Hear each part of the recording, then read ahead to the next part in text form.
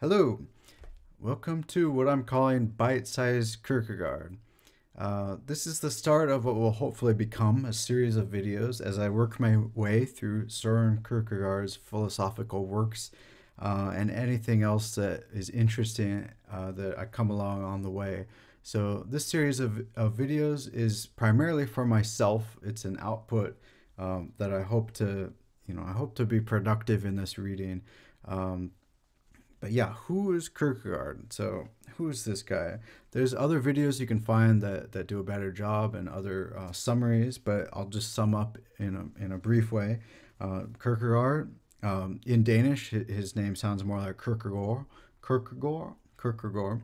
I'm going to mispronounce lots of things here. Um, get used to it here. Um, he's a Danish philosopher from the 1800s, contemporary of Hans Christian Andersen. Um, kind of an acquaintance, though he wasn't like a friend with him. Uh, he lived in Copenhagen most of his life. Uh, he did journey out to Berlin uh, briefly when he was younger, and also to northern Denmark when he was younger again. Um, but most of his life was centered in the world of Copenhagen. Um, he is kind of considered the first existentialist, um, but he's a Christian existentialist, which is a bit different than the later existentialists that followed. A lot of his life is is uh, shaped by his broken engagement with Regina Olsen. Uh, so he kind of he he kind of thought that he could only pursue you know marriage or his authorship, one or the other, but not both. And so he obviously chose this this authorship. And uh, in his relatively short life, uh, he actually produced lots of books. Those were his children in a way. Um, as I said before, he has a, he he died early. He was only 42, uh, and he was a good-looking guy early on. But like if you see drawings later on, he he looked like he had aged prematurely. So it's kind of a rough life and kind of sickly. He had some issues, uh, but like ridiculously uh, smart and talented. Uh, he's considered a genius in his own time, and obviously after we're still reading about him, reading his books. Um, but yeah, he, he did have some issues. He had like this melancholia, uh, kind of typical existentialist, if you will. Um, but yeah, he did have sort of his way of coping with that was kind of uh, graphomania, it's called, just like endless writing. Um, yeah, and we'll, we'll, we'll definitely see that. this is me working my way through that graphomania. Uh, but there's some interesting themes throughout his works. Um, too many to list, obviously, but just to get a sense of what he's about um, inwardness, authenticity, subjective truth, and faith. Uh, these are all overloaded terms, especially that subjective truth is very misinterpreted. Um, but um, I'm going to read a quote that will give that will shine a light on exactly what the meaning of that is. I'll, I'll read that in a bit. But yeah, I, I wanted to make sure that, that the motivation behind this series of videos is a motivation for me to read through this. Uh, so these videos are primarily for me. If you get something out of them, great. Um, but I am not an expert. I will get things wrong. Um, I will mispronounce things as I already have. Uh, this series is about what I find interesting, and what I'm getting out of this, what I'm highlighting, what I'm underlining. When you read through these for your, yourself, like you're gonna get some something different. Uh, and I think from Kierkegaard's point of view, that that would be fine. It's more of like an artistic perspective where the artist puts something out there. Uh, it, it may resonate differently with other people. I think that's totally fine. I think I think that is sort of in the spirit of Kierkegaard. Um, but yeah, why why am I even interested in this old guy? You know, like you know, why am I not interested in more contemporary philosophers? Um, for for a few reasons.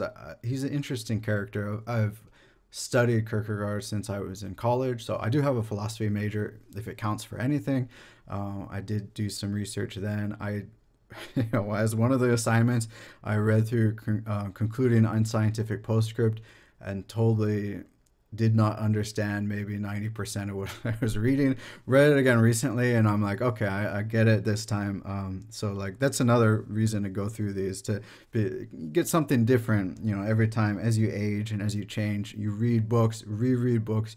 Uh, and it's going to resonate differently as it resonates differently with other people. You know, just your future self is different than your past self. Well, it's kind of interesting.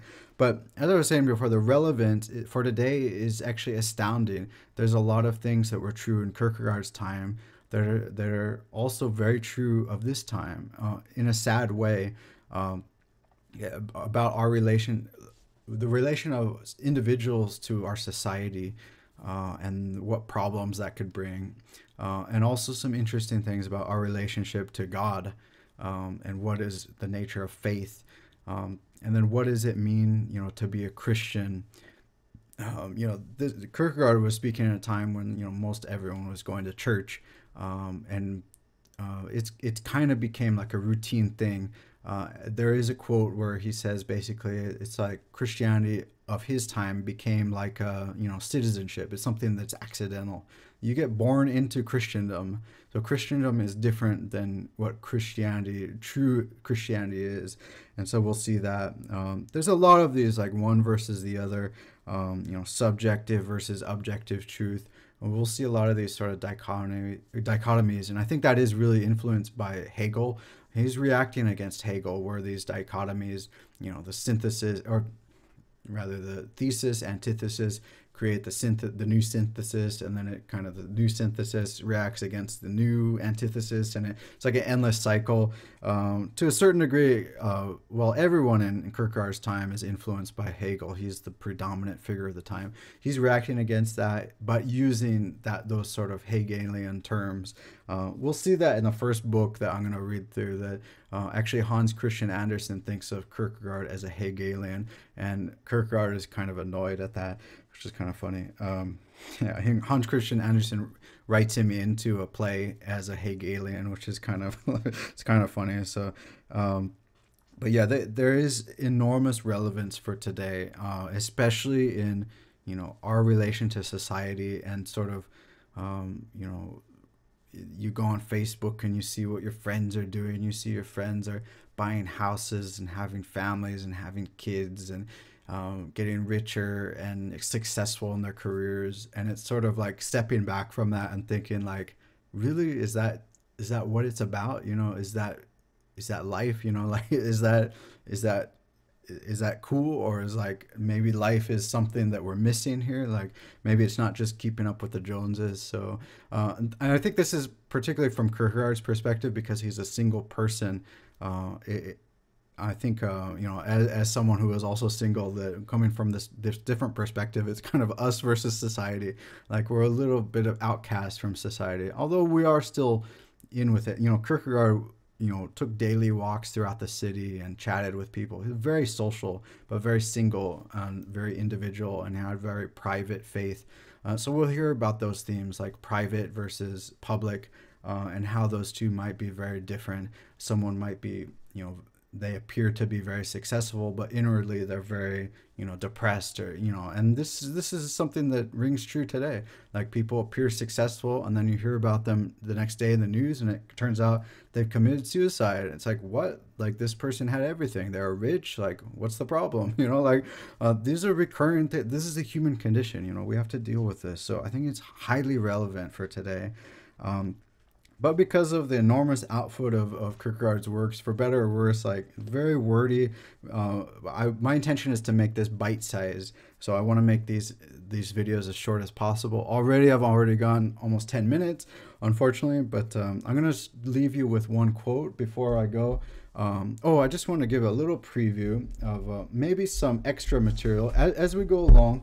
Uh, I'm going to be going through the Hong translation. So the first one we'll go through is this book the early polemical works. And um, occasionally we might be delving into Kierkegaard's journals and notebooks, which I'm actually going to read a quote from. I don't have all of these. Um, let's see. But yeah, also we have some other source material, which is kind of ridiculous. Uh, this is just stuff where it's like, I have it, I need to read through it. Um, this is a really fascinating book, this written images. This is out of print, unfortunately, so it might be hard to find.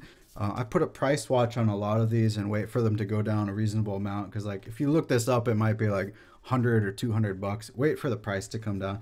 But this is really fascinating look at some, you know, like slips of paper and things like that. Like you can see this actual handwriting um, and some doodles and things like that. But we'll be going through some stuff like that.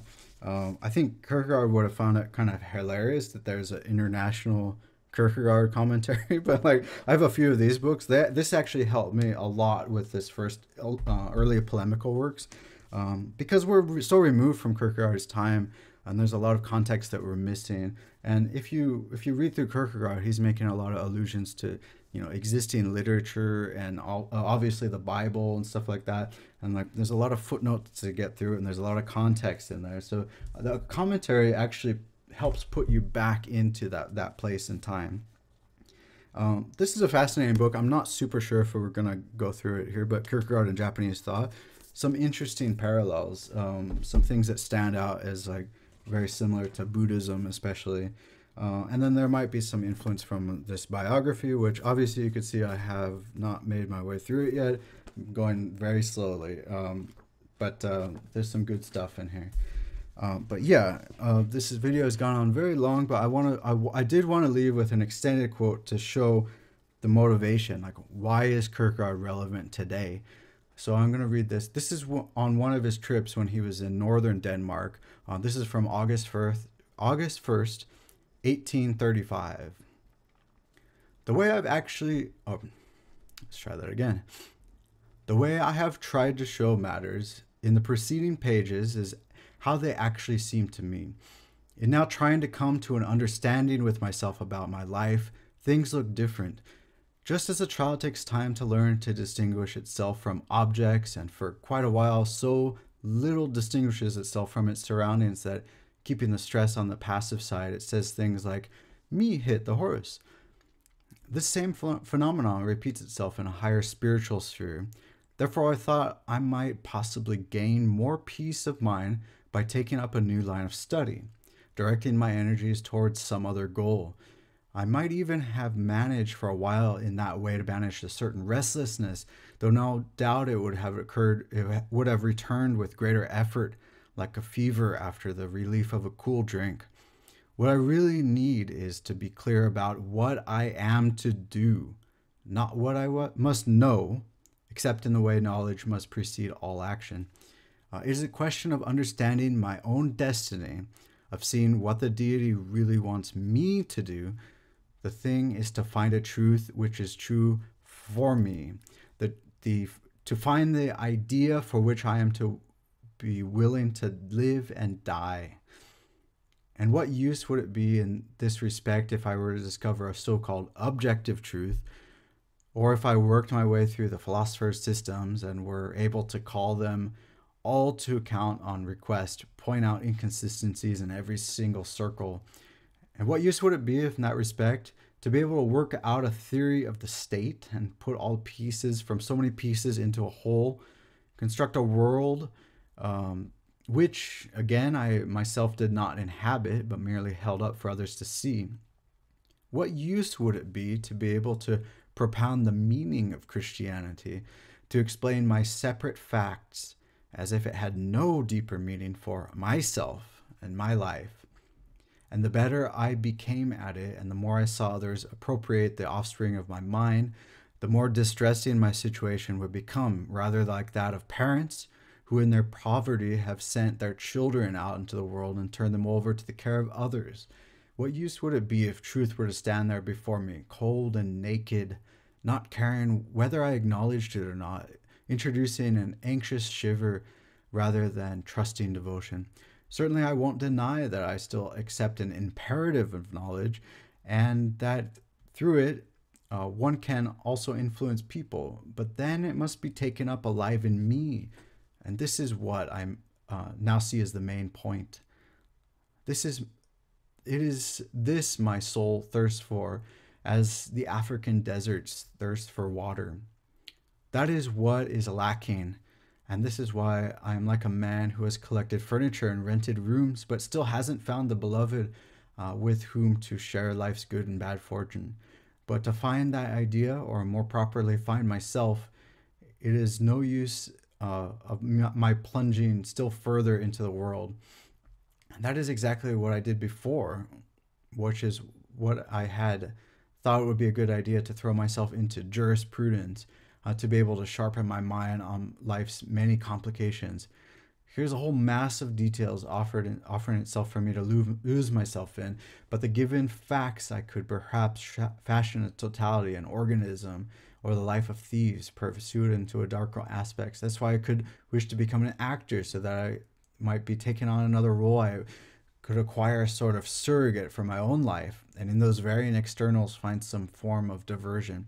That's what I lacked for leading a completely human life and not just a life of knowledge. Avoid basing my mind's development on yes, yes, something that people call objective, something at any rate isn't my own and to base it instead on something which is bound up with the deepest roots of my existence, through which I have, as it were, grown into the divine, clinging so fast to it, even if the whole world were to fall apart.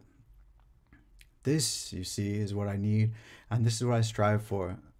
So it is with joy and inner invigoration that I can contemplate the great men who have found that precious stone for which they sell everything, even their lives, for which I see them intervening forces in life with firm step, without wavering, going down their chosen paths, or run into them off the beaten track, self absorbed and working in their for their lofty goals.